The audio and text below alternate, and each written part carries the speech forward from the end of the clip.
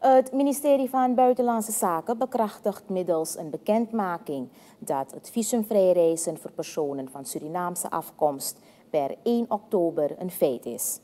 Zij die daarvoor in aanmerking komen, kunnen met slechts een geldig paspoort, waarin de geboorteplaats van de reiziger is aangeduid, of een geboorteakte reizen naar Suriname en hier maximaal zes maanden verblijven. President Chandrika Prasad Santokhi deed deze toezegging op de laatste dag van zijn werkbezoek aan Nederland.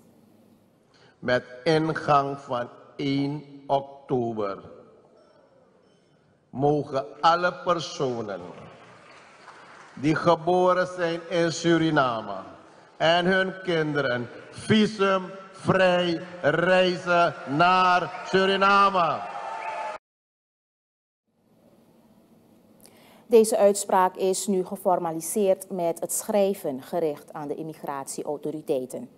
Voor vreemdelingen wiens ouders of echtgenoten van Surinaamse afkomst zijn, zal er binnenkort een andere vereenvoudigde procedure gelden.